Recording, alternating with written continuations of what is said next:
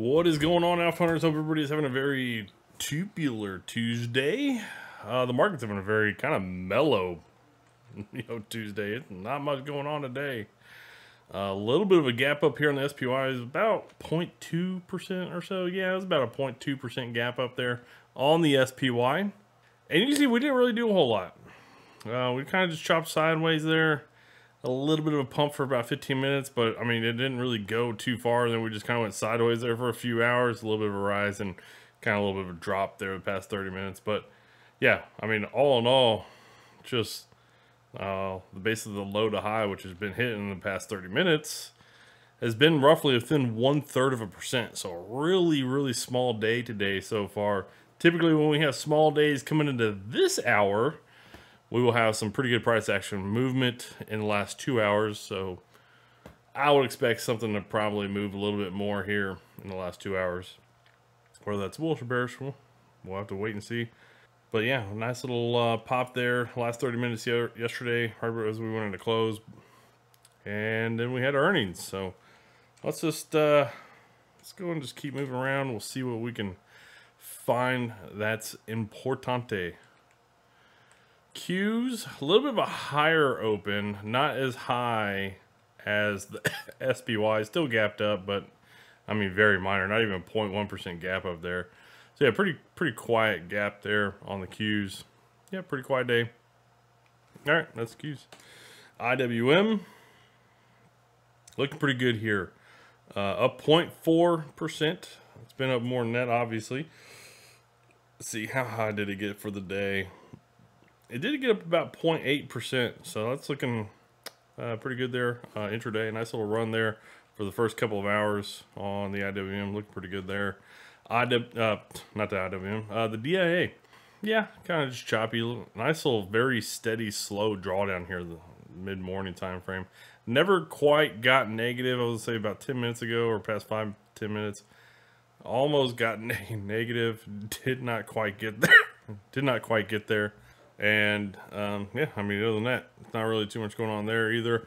RSP looks kind of interesting. Uh, nice gap up here on the RSP. It's roughly a quarter percent gap up because we're up roughly a quarter percent. That's about where we opened.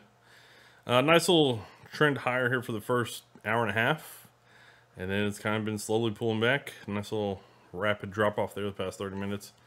Okay, so yeah, not too much going on there on the RSP either yeah, you can see I mean, we're just not really doing a whole lot.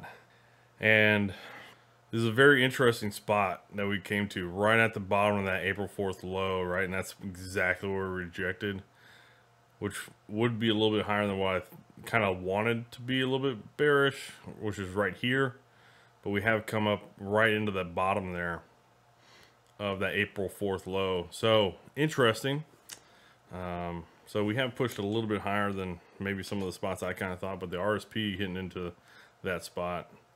The DIA also has gotten a little bit, uh, a little bit farther ahead than what I thought it would. But we're not seeing a great deal of continued momentum. I mean, even yesterday, um, we'll see if it's like this for all of them. But you notice the pretty light volume here yesterday on a day the market didn't move too much intraday all, all it really didn't right? It's just kind of it was just more of a gap up. And even here on the RSP not to say that that's like a low trading day for the RSP I mean we've had several other days it's kind of like lower on the volume but it wasn't it wasn't like a great volume day. IWM also kind of a low volume day yesterday. A little bit more of a a gap up yesterday than anything else. So interesting look there on the RWM. Q's kind of a low, low volume day yesterday as well. Going all the way back to like these two low days back in kind of like mid late March. So yeah, yesterday wasn't a lot of volume across a lot of these. I imagine the SPY is gonna be about the same. Okay. Uh, SPY, SPY. As far as volume, yeah, it was kind of a low volume day also not a not a big one not a big one at all you know interesting even like back here when we were bullish back in like february early march like we were having volume days that were definitely higher than yesterday. So yeah, really interesting. We didn't really have much volume yesterday. Hmm. Kind of makes me think that if we come down, I mean, we could go right through like yesterday on the price action just because not not a lot of volume there. All right. Um. So that's uh, kind of a quick look around those guys.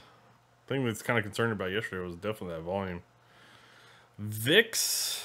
VIX continues to pull down. All right. VIX continuing to pull down. DXY. Dollar bouncing a little bit today. Okay. Uh, I kind of thought we might have a little bit more consolidation. We did get a little bit of a doji action yesterday. Kind of thought maybe we'd get a couple more days like that. Uh, but we're seeing a bounce here. So this is going to be a very important thing to know here. Obviously, we got the moving averages now coming down because we got below it. But we're also going to be retesting right into that low from two Fridays ago, Friday the 26th. And that's all about all that same area where those moving averages are. So kind of where we're getting into currently. So we'll see how we close today and tomorrow. Uh, if we get through there, maybe we'll just continue to bounce. But not a bad spot if you're not liking the, the DXY or the dollar not a bad spot to probably be looking to be bearish. Like, that's looking like a pretty good area. Yeah, I mean, it looks like a pretty good area. So, there you go. GLD. GLD. Okay. Not really doing a whole lot. Pulling back a little bit. I mean, dollar's a little bit bullish, but not much, not much to say here. Just be bullish on any kind of dips. Yields. 10-year yield dropped off this morning. Uh, past couple hours has been rising a little bit. Okay. Be interesting to see if that happens, if that continues into into day. Uh, yeah, because we got to the lower end of this channel. So obviously if we break the lower end of that channel, then the channel is completely irrelevant. So be interesting to see if, it, if this lower end of the channel holds and we get back to going higher on, on yields. So that'd be interesting to see how that looks here over the next day or so. Let's take a look at the 30. Yeah, the 30 is not even close to breaking this channel. Okay. And what about the two year? Wow, two years really just hanging out and not doing a whole lot. Okay. All right. So 10 and 2 inversion coming back down. All right. So we're going to chop sideways some more. Okay. HYG. Not really doing a whole lot. Has basically reversed from the gap up. Okay. Coming back down a little bit. It's ran pretty good here over the past few days. I mean, ever since uh, last Wednesday's gap down, it's ran pretty strong for a few days. Okay. HYG. Uh, LQD. Me put a line on this chart roughly through there. That would probably be a pretty important one. Maybe, does this kind of look like anything? Not really. What if we do that? You could say it's kind of connected in there a little bit. I still think we could probably push a little bit higher here on uh, the LQD, but just because I, I don't want to totally dismiss like this little spot here. I mean, it's very possible that, I mean, we, we break back down and, and it, maybe this would be the resistance line, but I doubt it. So that's the look at the LQD.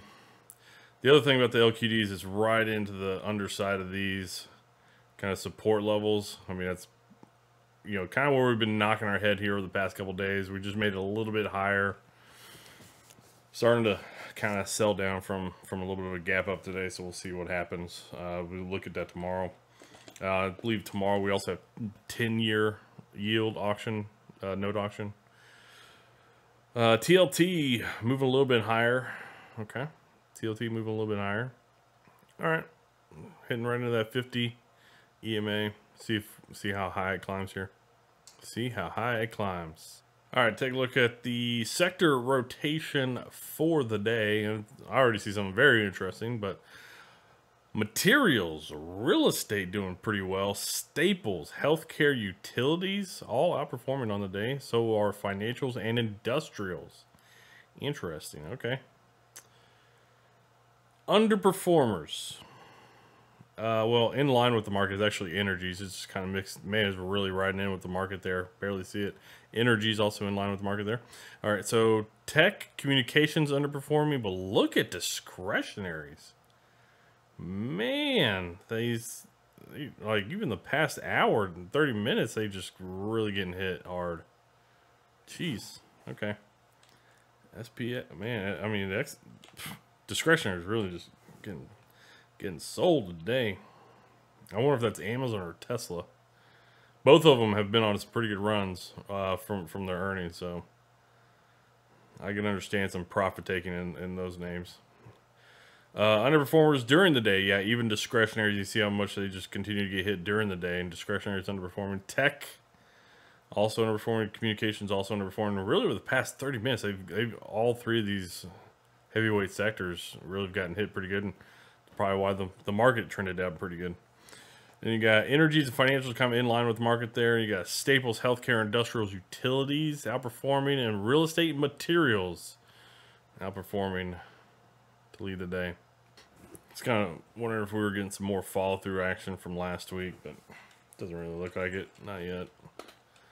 Maybe we'll base. Gasoline kind of looks like it's trying to base here. Heating oil, trying, yeah, this looks like it's basing, trying to start to push up. Okay, let me go back to crude oil. Crude oil, yeah, I remember, I remember these these highs.